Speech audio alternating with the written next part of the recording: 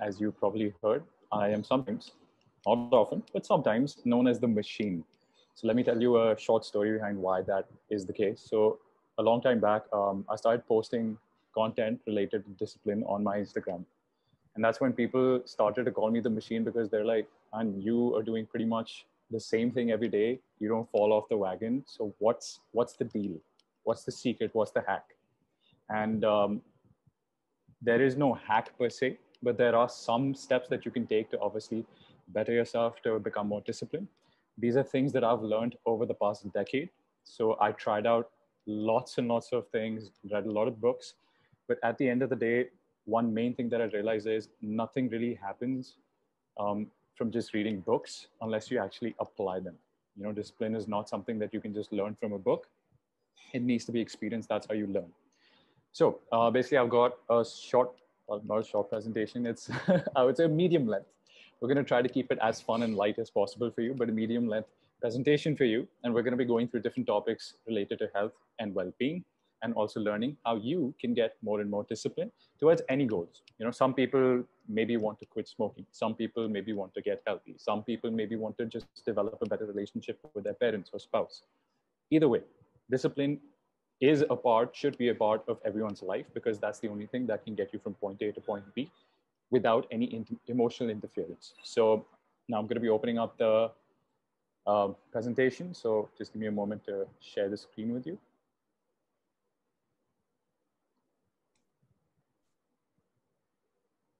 All right. So discipline. We're going to discuss first what is discipline. We're going to discuss how you can build discipline basically like training a muscle, fostering the right environment for discipline, and then we're going to talk a little more about well-being and the different aspects.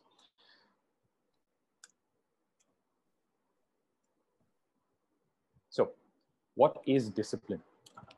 So a lot of people tell me, you know what, I'm disciplined. I go work out every single day. But discipline really is willingly doing what needs to be done, regardless of your feelings towards it. So why is it not the same as working out every day? Well, if let's say all of your friends are at the gym and you're going there every day to meet your friends, to have a good time, and you enjoy working out, that's not discipline. That's just doing something that you enjoy, right? Discipline is being able to do the things that you may not enjoy, but you don't need to get done.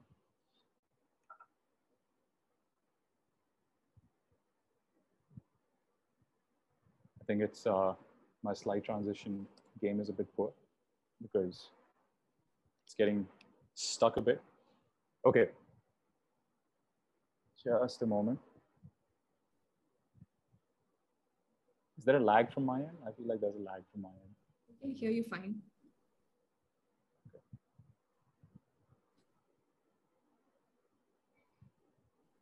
Just a moment to fix this. There you go. So like I said before, discipline is not rhetoric. It's not theoretical. You need to experience it. Just like you can't experience how to, you can't experience the fragrance of a flower. You can't learn how to smell and identify different flowers from just reading about them in a book. Similarly, you just can't learn discipline from a book. You need to actually go out and experience it. You can't learn how to swim from a book. You need to actually go out and swim in order to be able to learn. So that's why discipline is an experiential learning. It's not something you can read off of a book and learn. And like everything, you need to first learn how to write an alphabet before you can do poetry. So a lot of people say, okay, you know what? I'm just gonna get discipline from today, and I'm basically going to work out. I'm gonna quit smoking. I'm gonna have a better relationship with my spouse. And they list 10 things that they want to do. But the only issue is they've never actually practiced discipline, right? They've never really done something that hard to be able to take such, on such a daunting task and as a result they fail and then they think that there's something inherently wrong with them. But it's not the case. Discipline is a skill. You can learn the skill just by practice and we're going to be discussing how. So i'm just going to show you a video called the marshmallow test. So the marshmallow test was developed by a stanford psychologist. So just observe what happens in the video observe the reactions of the children and just how they behave and the justifications. All right so just go through this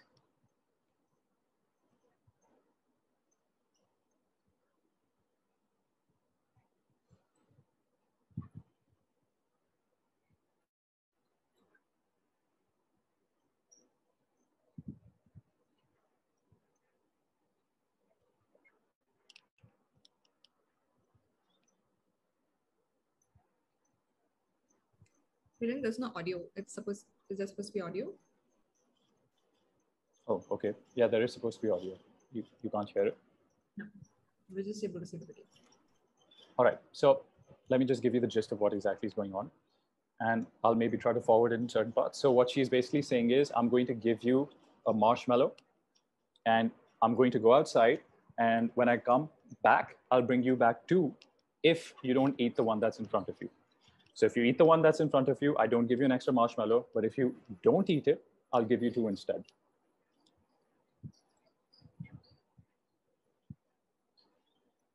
So he's talking about how if I wait, you'll give me two for sure. And then she's building that trust. And then she's basically, we're going to observe what happens with these kids. All right, so now you'll notice some kids, they're patient, they'll wait, right? Some kids start to play around with the food. This kid straight away goes for a bite. She doesn't care. she, she can't hold back because that's so tempting. But if you see the other kids sort of giving her, giving her a reasoning, okay, if you wait, you can have two. But if you don't, if you eat it, then she won't give you any.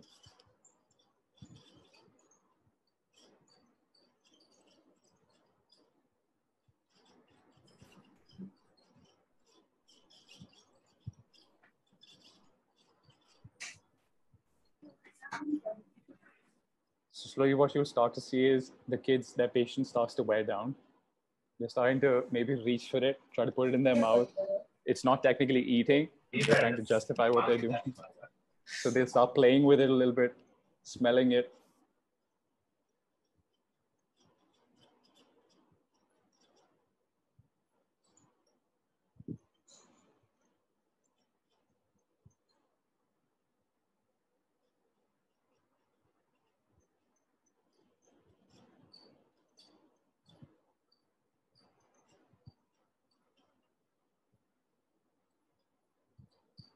And then there are some kids, uh, they, they don't even want to wait. They'll go for the marshmallow. they don't even want to wait for the thing to be explained.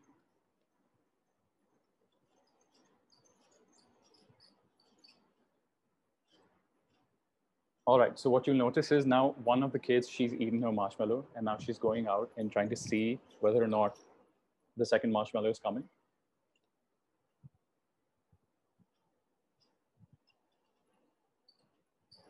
Playing with their food.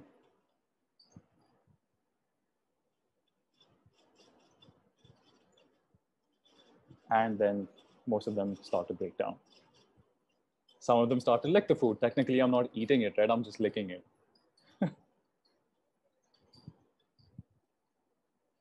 and of course, the ones who waited got the second marshmallow. So the experiment, why was it designed? It was designed to basically see whether or not this is an inherent trait and whether or not this can be trained. The observations of the study were that if there are kids who did not, the ones who did not eat the marshmallow, who got the second marshmallow, later on in life, they ended up becoming more successful. They ended up getting higher paid jobs. Their chances of employment were higher. Their chances of going to college were higher just because they were able to delay gratification. They didn't go in for the instant gratification. They had discipline, right? So when we try to take on a new task, whenever we try to, let's say, for example, smoke, quit, quit smoking, we give ourselves small justifications as to why maybe one cigarette once in a while is fine. It's fine, right? That's not breaking the cycle.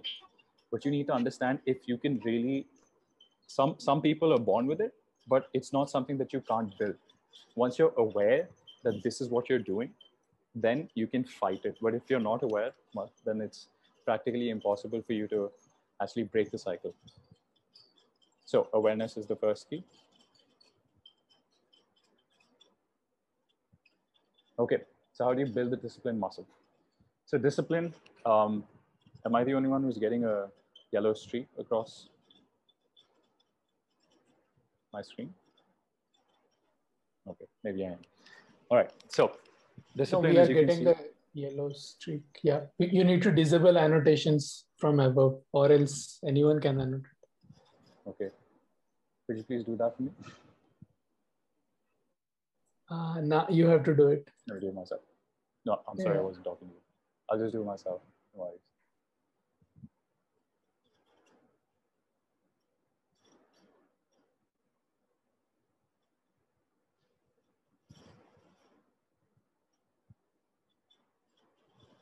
All right, can I please ask the host to disable the annotation?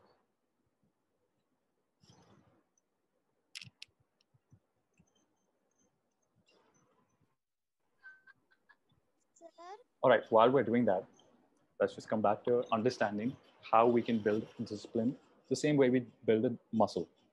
So as you can see, there are two types, two strategies to building muscle. Similarly, there are two strategies to training discipline. One is endurance, so training it like you would an endurance race. And the second is power.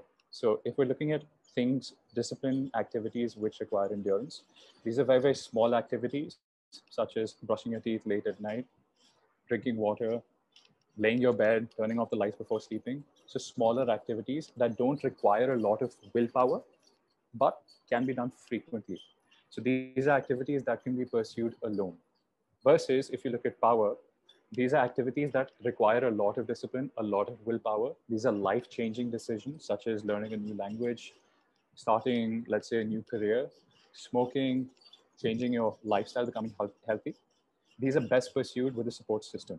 Often, what you'll see is people, let's say, if you want to start drinking more water, this is an activity that can be pursued alone. However, people usually go around the office telling everyone, Oh, did you know I'm, I'm trying to drink more water? And that's really not required because that could be an opportunity for you to seek out help for something bigger, such as learning a language. So we usually tend to swap the two, right? Similarly, if you look at the endurance bit, we can pursue multiple activities at the same time with minimal recovery time. What do I mean by that? Now, if you're learning a new language, it's best that you focus on taking your willpower and applying that only to one big task. Versus if you're brushing your teeth, let's say you're starting a new habit, hopefully you are brushing your teeth, but let's say you're not brushing your teeth twice a day. In the evenings, you start brushing your teeth, you start drinking water, etc. You can pursue multiple of these small new habits at the same time because they don't require a lot of willpower. Versus if you're looking at something like, like I said, learning a new language, since it requires a lot of willpower, it's best to pursue just a few of them at the same time. Also, between one new habit to the next, let's say I just quit smoking and now I want to change my lifestyle, I want to lose, let's say, 50 kilograms. I should ideally give a bit of recovery time before I pursue the next action versus in endurance activities such as smaller habits, not a lot of recovery time is required. So you can just pursue one after the other rapidly without actually depleting your discipline reserves. This is quite simply done because discipline requires energy, it requires emotional investment. So if you take on too much too soon, that can be a problem for you because you're basically draining out your emotional muscle, right?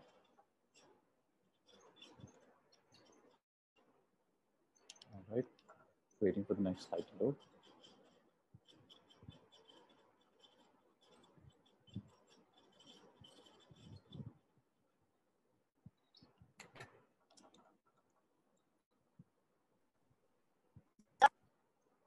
Think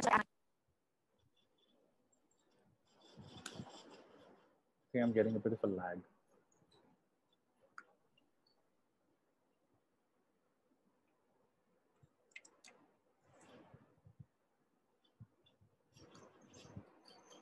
Just a moment, sorry.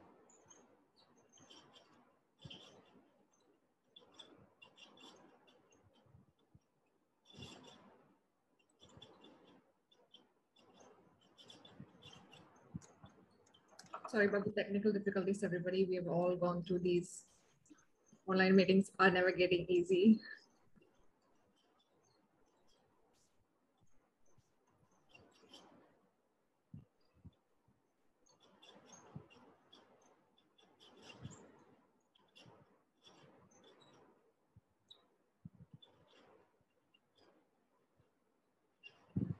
All right. Now, let's say you have a goal, right? You want to become healthy. That's your goal. Step one would be to break down what needs to be done versus what you want to do. So let's say you want to exercise. What's the antagonist of that? Every time I go to exercise, instead I end up watching Netflix. I want to start eating healthy. Instead of that, I start eating junk. I want to sleep on time. Instead, I start maybe watching Netflix again, right? So you need to identify what you want to do versus what you need to do. So once you've identified that, ask why not. Now, it's not about why not watch Netflix, rather, it's about why not exercise, right? Or why not eat healthy. So, in the moment, when I'm looking at, let's say, a bowl of pasta, and instead I should be eating healthy, I need to ask myself, why am I not eating healthy? If I'm trying to, you know, hit the gym, and instead I don't hit the gym, I need to ask why not. And third would be stop lying to yourself and stop bullshitting yourself, stop cheating yourself oftentimes when we let's say um, lie to somebody else let's say us you know we have to take our kid to practice and we're not able to and we lie to them and later on we feel a little guilty and we avoid repeating that behavior right? But when we lie to ourselves usually we completely ignore that. We feel bad maybe for in the moment but what we don't realize is what we're doing to, to ourselves at a subconscious level. What happens is if you keep lying to yourself, if you set a goal, you fail, you set a goal, you fail, eventually that's doing damage at a deeper subconscious level because you you tend to lose self-respect. Let me give you another example. Let's say you set out a goal and at the end of the day, you achieve your goal. You're going to build self-respect because you, in your own eyes, are someone who follows through on action, right? So stop cheating yourself and maybe, you know, if let's say you have a genuine reason let's say you want to go exercise, but you have to buy groceries because if you don't buy groceries, well, you don't eat dinner. In that case, no problem. If you can go buy groceries, why not try to walk the entire distance or try to park your car away from the grocery store so that you have to walk a little extra and you manage to find an alternative as opposed to just saying that, okay, this is just not going to happen today, right? Okay. And number step four is obviously conditioning. So you can't just do something once and expect that to solidify in your mind. You need to do it over and over. That's what's required. So let's say if I set out a goal to be healthy and today I was healthy, great. I ate well, I exercise. At the end of the day, you know, a typical Punjabi dinner, you eat healthy in the morning, healthy in the lunch, healthy snack, and for dinner you have butter chicken that's not great because that's actually going to break your momentum. So conditioning is required. Ideally, to install any habit, you need to, need to be doing it for at least three weeks, 21 days for it to solidify. So conditioning is absolutely important to get you to the next level. Now, building the right environment or the right support system. What you need to do is first of all, identify roadblocks early on. So if you're trying to exercise, for example, and I'm sorry that I keep bringing you back to this example, but it's just that this is so close to me. So it's it's it's how I learn. So let's say you want to uh, exercise, you want to make it a routine. You need to identify roadblocks early on. Like I said, if you need to buy groceries, if you have kids that you need to take to school, identify what roadblocks I have, be prepared for them. Number two is have a support system. Like we spoke about earlier, if you're just trying to drink more water, having a support system in that case is not really required. But if you're trying to learn a new language, if you're trying to become healthy, having a support system is absolutely crucial because you need someone to be accountable to, not just yourself, so that if, God forbid, the situation comes where you can hurt yourself, you don't want to hurt another person instead. Next is fail forward. So, what I learned over the many, many years that I've been trying to pursue discipline is that a lot of people are start stoppers. They start something and they fail once and then they stop. They start again, they fail once and they stop. What you need to do is you need to fail forward. You need to figure out why I failed so if it's that, you know, when I started exercising, eventually it took up too much of my time. And as a result, I never went back to it. Well, identify the roadblock, identify what the problem was, and find a solution to it as opposed to just saying that I'm a failure, I can never do this. Because most people end up doing that. And from experience, I can tell you if you just move past that roadblock, you can definitely make a habit out of whatever you're trying to get into your life. That's how discipline happens. And lastly, chicken or the egg. So do you tackle the physical aspects first or do you tackle the mental aspects? What do I mean by that? Do you force yourself or psych yourself into becoming more disciplined or are there other ways to become more disciplined by preparing the right environment? Well, for me, in my experience, physical preparation is absolutely paramount as opposed to mental. there are only so many days that you can wake up in the morning, listen to a motivational video. You can wake up in the morning, think about what actually is get, getting you going, or psych yourself into becoming more and more active. At the end of the day, physical preparation is just as important. People don't realize that everything that you think about, the thoughts that you have, are just neurons reacting, right? So, neurons are physical aspects of your brain. So, it's not something that's just happening on a um, you know mental level or just the software that's going on if your hardware is not working well if you're not eating the right foods you're not having the right movement and you're not having the right sleep you can't expect to be disciplined because these are things that will throw you off and now let's talk about how that can happen so let's get into well-being and discuss how discipline and well-being tie together so well-being some people say is a state of comfort I don't feel it's a state of comfort. Some people say it's a state of happiness. I don't think it's a state of happiness either. It's a state of balance. You see, if you're always seeking comfort, you're speaking from experience. If, let's say, your entire day is comfortable, right? I wake up in the morning, I have someone to place slippers in my feet, I have someone to make food for me, coffee for me. I don't need to do anything, I have someone to drive me. I tend to be less and less active and as a result my discipline also starts to go down my well-being starts to go down because if you're just going to be comfortable all the time your health will deteriorate if you're just sitting all the time your health will deteriorate so being a little comf- uncomfortable is required for well-being so it's not being in a state of absolute comfort next happiness if you're always happy well that's not really practical you can't always be happy things will happen in life bad things will happen in life sooner or later. So you have to be prepared for sadness as well. So sadness is an absolutely normal part of life. It's an absolutely normal part of well-being as well because you need contrast in life. However, balance, if you can really learn to balance, let's say sadness and happiness, if you can learn to balance discomfort and comfort, that at the end of the day is what will bring you the best state of well-being. So what are the aspects of well-being? One is obviously mental, the other would be physical. When it comes to mental, there are a few things that you can do to influence your well-being, such as the content that you consume. Now, by content, I don't just mean what you're watching on Instagram. I also mean the kind of people and conversations that you're having, right? Because if, let's say, first thing in the morning, you're looking at something negative, chances are, at least for the next few hours, you will be in a negative mindset. Similarly, if you wake up in the morning and you have a negative conversation with your neighbor, you might get into a negative mindset again. And then secondly, relationships, right? Relationships are absolutely crucial to your well-being as well. As we know, we are social creatures. Human beings aren't meant to be alone all the time. So having a good relationship around you, with the people around you, and also with yourself is crucial. And then physical health obviously is required for well-being. So let's talk a little more about mental health. So mental health is all about what you feed the mind. First thing in the morning, the first 15 minutes of your day, what you're consuming, versus the last 15 minutes of your day, what you're consuming, can influence the state of your day, the next day or the same day.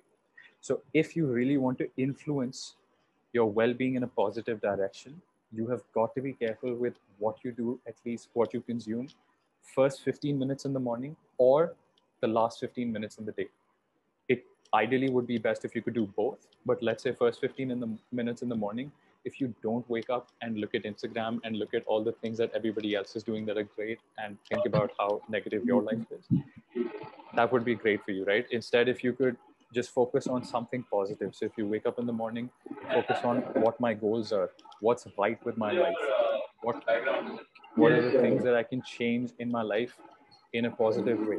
These are things that you need to think about and reflect on first 15 minutes or last 15 minutes. I think we've got somebody uh, with their mic on. I could at least request everyone to keep their mics off. Can everybody please mute their microphones? Perfect. Thank you so much. So Vikram right. has sent me a mail saying that uh, he'll come back in few two Wonderful. Please let Vikram know that we're in the middle of the conversation here.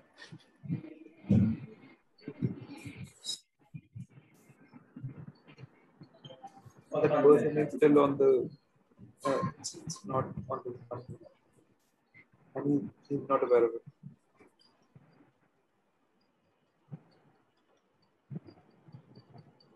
All right. Okay, I think it's muted. No, it's not. Just a moment. Yeah. And by the way, Shailesh, KCB Kimberly Clark uh, was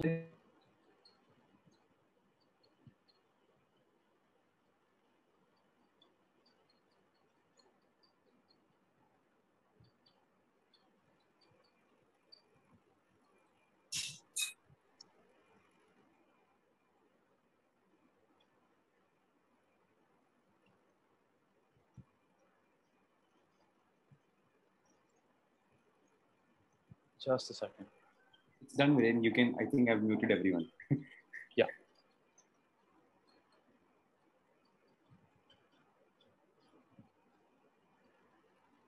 Ooh, okay. Um, I am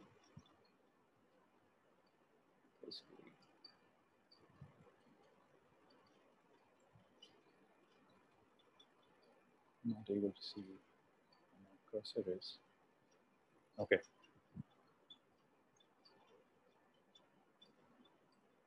Sorry, I'm not great with technology sometimes. I am old. Please excuse my um, lack, my lacking ability with technology. Could someone please tell me how to go back on the slides? I'm really struggling here. Are you sharing your screen? I am. Can you just, can't you just go back on screen? Yeah, I don't know. It's not really happening. Command tab. There, Yes. there you go. I need to go back. Great. Just Um, maybe you can uh, stop sharing and resharing again. Try pressing escape, maybe that would help. Yeah, that's the thing. My escape is not working. There you go. Can you use the arrows, the left or right arrows? Is that working? Got it. Or up? I got it. Thank you. Whoever helped me out, God bless you. Okay, getting the show back on the road. now, where were we? So, the content we consume. Next would be relationships. Now, often when we talk about relationships, we think about how our mental health can be affected by relationships outside of us, but we tend to forget about relationships that are inside of us. Single relationship, obviously, how we speak to ourselves. So, for example, if you make a mistake, often with me, what happens is when I make a mistake, my first reaction is, Viren, you're such an idiot. How do you not know how to work PowerPoint? What is wrong with you, right? So, at this point, if I speak to myself in a negative way, or like I gave you the example before, if I set a goal and I don't achieve this goal, the relationship that I have with myself slowly deteriorates. As a result of that, I see myself in a more and more negative shade with time. That's why a lot of people with time tend to grow bitter as well. So you've got to be very careful with how you speak to yourself and the relationship you have with yourself. The best way to improve a relationship with yourself is to set a goal, achieve that goal, and in your own eyes, you can see yourself progressing. Obviously, outward relationships are also important. So if you've got a relationship that's toxic outside of you, let's say you've got a spouse with which who, with whom you can't communicate properly, that needs to be addressed because that can also influence your well-being massively in a negative or positive way. So try to keep your friends close. Try to keep positive people around you. I mean, this is a little more obvious, but something we tend to ignore. So just be careful with the relationships you have around you. Next would be physical health.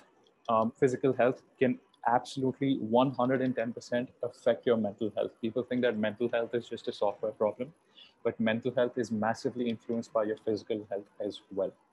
Like if you look at the, the point that I made about raw material, literally feeding the mind, every single thought that you have is the result of a neuron connecting with another neuron, right? These neurons are made of protein. So if, let's say, you have a diet which is lacking in certain macronutrients such as protein, chances are your mental health will be affected. If, let me give you another example, if you drink alcohol, for example, that immediately changes your state of mind, right? Your thought process changes. The way you perceive reality changes. If you drink ca- caffeine, coffee, that also changes your mindset. So why do we then believe that food would not change our mindset and mental health as well.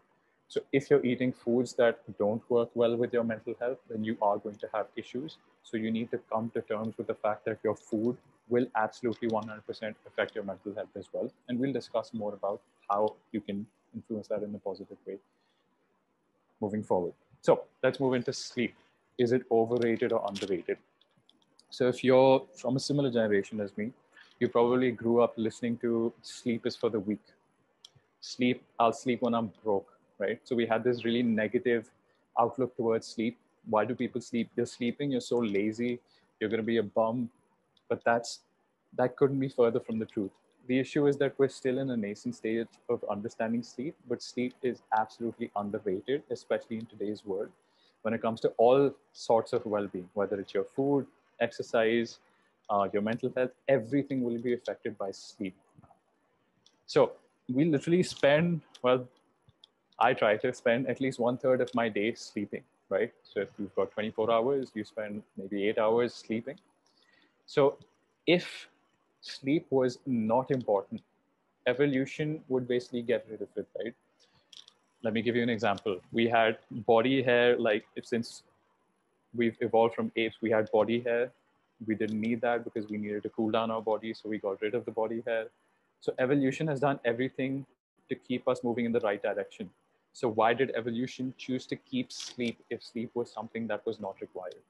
So evolution would have gotten rid of sleep because that's the best way to keep the species going. However sleep is something that's common throughout the animal kingdom right? Even fish sleep even dolphins sleep. So sleep is absolutely important. Secondly, sleep is the only time your brain actually cleans itself.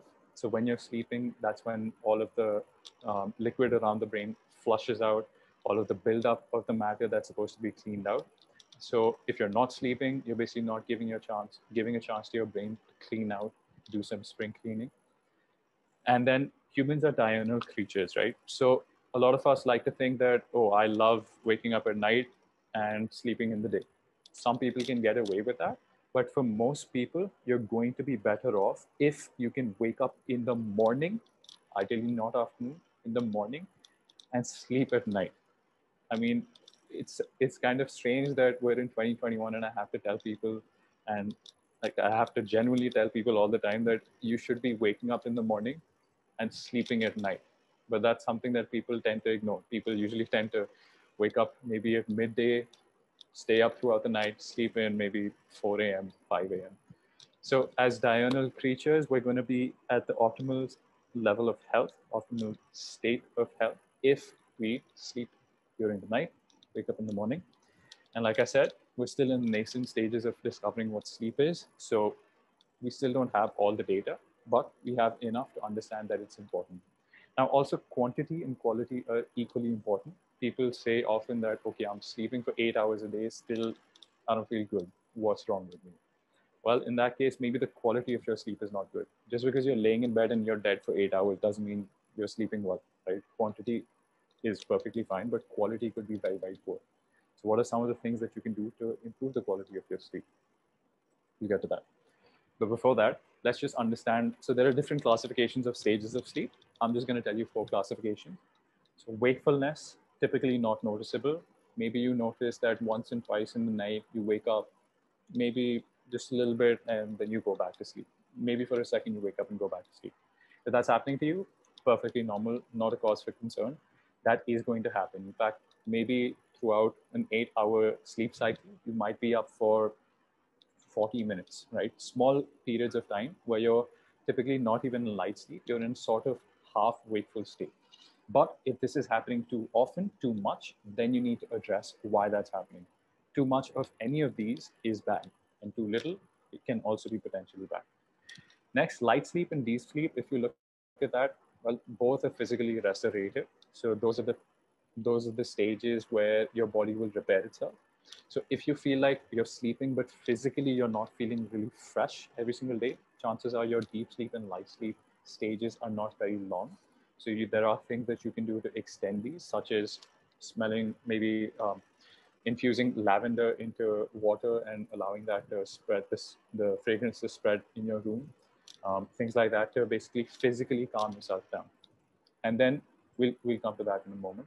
REM sleep, lastly, is the sexy bit of sleep. That's what most people are trying to get because this is what really improves cognitive performance. Memory consolidation, moods, your mood, dream states. This is where basically your brain really solidifies the experiences of the day. So let's say, for example, uh, if you're trying to learn something, if you're really trying to uh, be in a good mood, REM sleep is required. If you're not in a good mood generally, that means maybe you're not getting enough REM sleep. And there are aspects that can um, negatively influence your REM sleep. So let's figure out how now to improve sleep and what are the factors that can affect different stages. Number one is sleep is basically our lives are the dance of cortisol and melatonin, two different opposing hormones. Cortisol is a stress or wakefulness hormone. Melatonin is a relaxation or sleep hormone. So in the morning, let's say you're waking up without an alarm, that's cortisol elevating in your body, which is waking you up. In the evening, when you start to naturally feel sleepy, it's melatonin rising that's making you sleepy.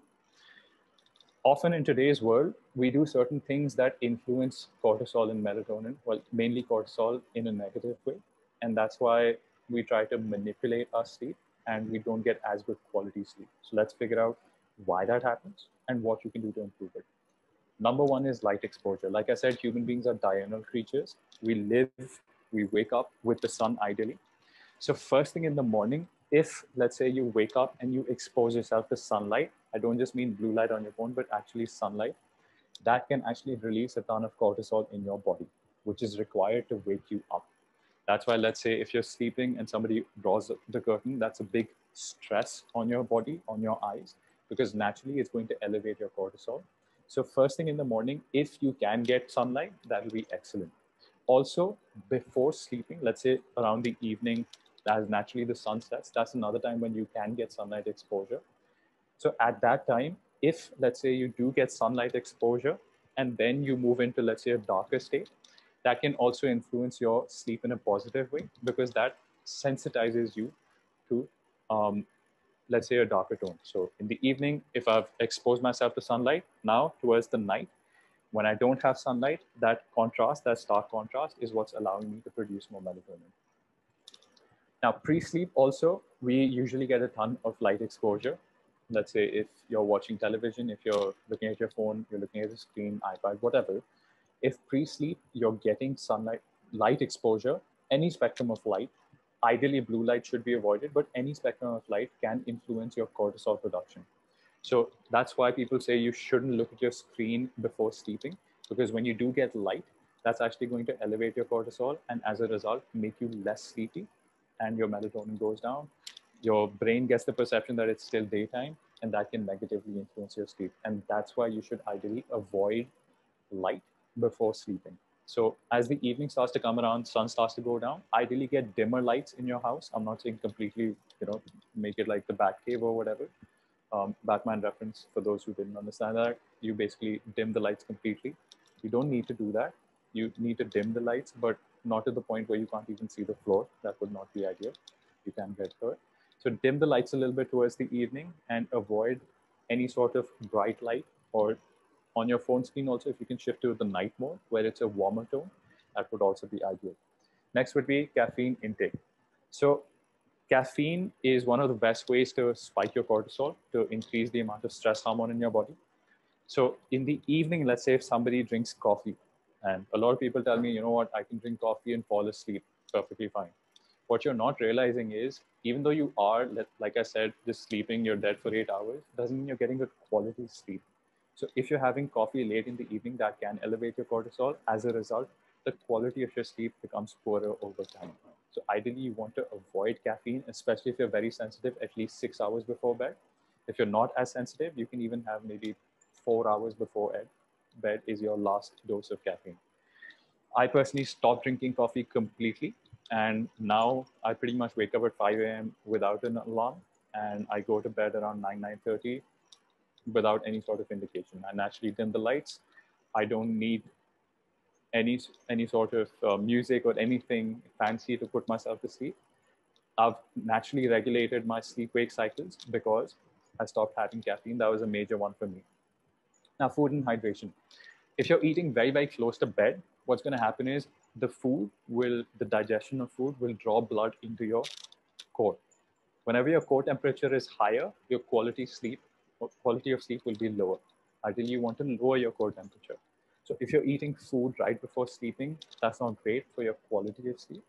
Also, if you're eating something very, very sweet before sleeping, oftentimes we like to have dessert before sleeping, your blood sugars go up. As soon as they crash, that's when your REM sleep can be very negatively influenced. So this is something that I've observed as well. If I eat something like watermelon before sleeping, even though it's a fruit, right? You think that it's just natural sugars. Because the sugars elevate your blood sugar so rapidly and then it dips, that's not great for your REM sleep. So as a result, you might be moody the next day. You might have, you know, uh, memory issues the next day. So ideally, you want to avoid things that are very, very sweet right before sleeping. And lastly, there's water. So if you're drinking water very close to bed, you're probably going to wake up to use the restroom. Not ideal because that ruins your quality of sleep. Versus on the other end of the spectrum, if you're not drinking enough water throughout the day, in the evening, you will tend to feel thirsty. So you got to make sure around the afternoon is where you get most of your water and slowly start to taper off towards the evening. Another thing that you can do is you can take a bath before sleeping. What that does is it lowers your core temperature because a warm bath will draw water towards your limbs and as a result take it away from your core. However, if you do a cold bath in the evening, that's not great because that will draw blood into your core. So you want to take a warm bath before sleeping. That'll lower your core temperature. And obviously the temperature of the room also needs to be considered. So anything between 18 to 20 degrees is ideal for sleeping. It'll lower your core temperature and improve the quality of your sleep. Even if you look at nature, in the day, usually it's hot, in the evening, it's cold. And that's what works best for our body as well. Movement and play. All right. So evolution didn't really design human beings to sit for extended period of time, right? we weren't designed to just sit all day. Case in point, if I sit all day, my back starts to hurt. I start to feel old, even though I don't think I'm that old. But even sitting, let's say, for a few hours through a presentation can maybe hurt your back. So if you want, you can move around a little bit, loosen up if you're feeling stiff.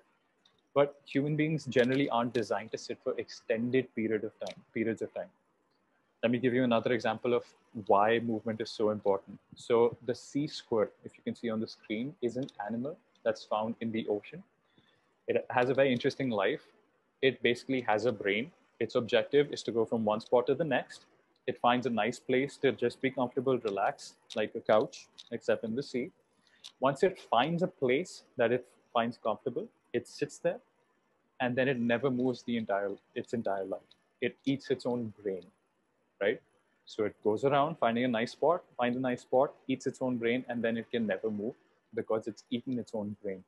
So that actually made scientists realize that the brain actually developed for locomotion. So if we don't move, that's actually negatively impacting your brain as well, right?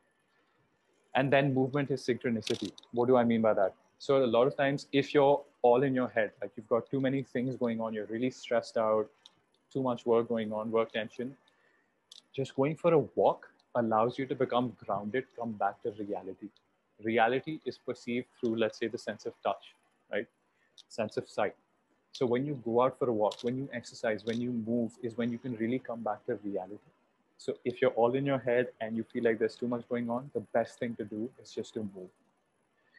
And then movement has to be fun too many people say, man, I get bored in the gym. That's why I don't exercise. I get bored at yoga. That's why I don't exercise. Doesn't matter. Just find something that you enjoy. It could be a sport. It could just be playing with your kid. It could be playing with your spouse. Let's not go there. But the idea is that you basically want to find something that's enjoyable so that it's you're actually looking forward to doing it. And lastly, stimulate, don't annihilate. So a lot of people do CrossFit workouts these days. They're very popular. They go to the gym they exercise, they completely destroy their bodies, and then come back and then they can do that five days, six days, they're dead. They can't. And then they say CrossFit is not for me. I got injured, this happened, that happened.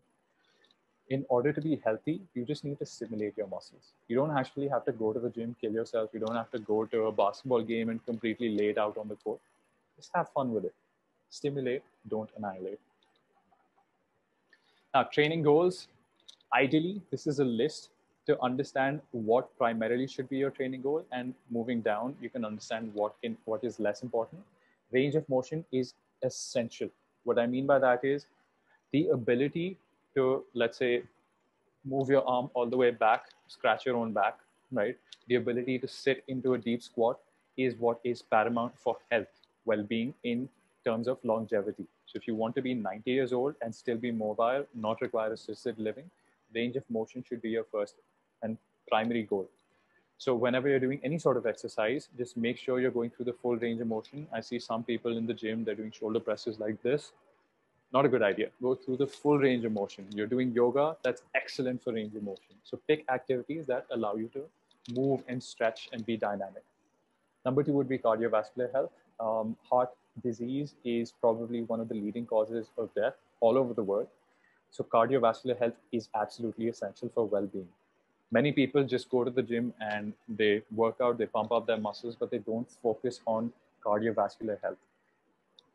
You have to focus on just moving, allowing your body to be in a rhythm, and that's what's going to improve your cardiovascular health. So just go for a walk if you don't like running, or run if you don't like walking, but find something that allows you to develop a rhythm. That is extremely important for well being as well.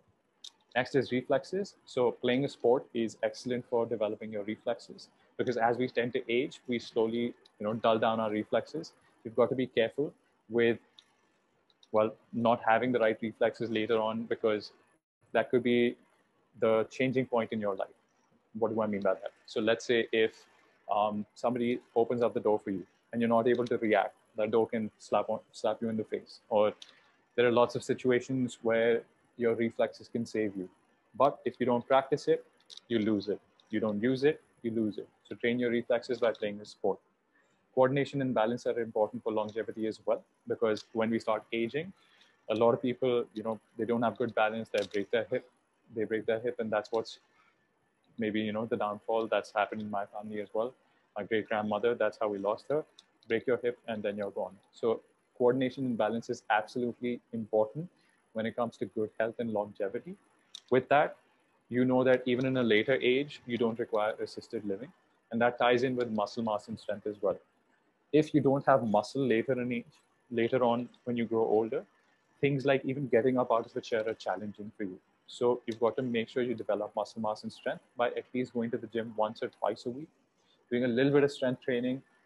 Simple routine, it doesn't have to be elaborate you can just sit on a chair and get up. Something as simple as that can help you maintain muscle mass. And then lastly, you can chase medal and you can focus on performance. So a lot of people start with, okay, I'm going to run a you know marathon. That shouldn't be your primary goal. That can be your final goal. And then we've got under overtraining. Overtraining has two aspects. Either you're doing under recovery or you're overshooting your capacity. What do I mean by that? So let's say if you can only lift 50 kgs, people go to the gym and lift 100 kgs because ego, right? They want to be better than the next guy. That's not ideal because that can lead to overtraining. But more importantly, if you're just not sleeping, you're not eating right, that can lead to under recovery, which is more the case for most people compared to overtraining by overshooting their capacity. So these, this is just an overview of what you should be doing in terms of training. But what I want you to learn from this, the takeaway would be just find something that you enjoy and do it for a minimum daily time. So just go for a walk for at least 30 minutes a day, right? Play a sport twice a week. Just do something that you enjoy. Now, nutrition. So in the words of uh, Olivia Newton-John, I don't know, maybe you guys are too young, so you haven't heard the song, Let's Get Physical, Physical. But like, I love that song. In terms of nutrition, that is completely applicable. Like you could, you couldn't practice nutrition by reading a book, you have to be physical about it, just like discipline. So, what do I mean by getting physical? Well, personalized nutrition, let's understand that. What works for me might not work for you. So, Viren, my neighbor did a vegan diet. She feels great. My other neighbor did a carnivore diet where he's just eating meat. He feels great too. What should I do? What's the best diet? There is no best diet. The best way of eating is personalized nutrition, feeling what works for you. All right. So everyone is going to have a different set of things that work for them, different kinds of foods that work for them. So find out what works best for you by experimenting and logging your food. So also understand that evolution is what dictates what food works for you and what doesn't. Let me give you an example. People in Japan don't do very well with dairy because they have never consumed dairy in their past. Versus people in North India do really well with dairy because their ancestors have consumed dairy. Maybe some people in South India can't have dairy, they have lactose issues because their ancestors never had dairy. So find out what your what is ancestrally appropriate for you and stick to that. That will, in my experience, be the best bet for you, the best diet for you. Also, a lot of people these days say, you know, meat is bad, fruits are bad, this is bad, that is bad. Humans have been eating fruits for millions of years. Humans have been eating meat for millions of years. So it's not that meat is bad, fruits are not bad either. So find out what is evolutionarily consistent. So if humans have eaten meat, it can't be bad for you. So think from that perspective and you'll start to see what works for you and what doesn't.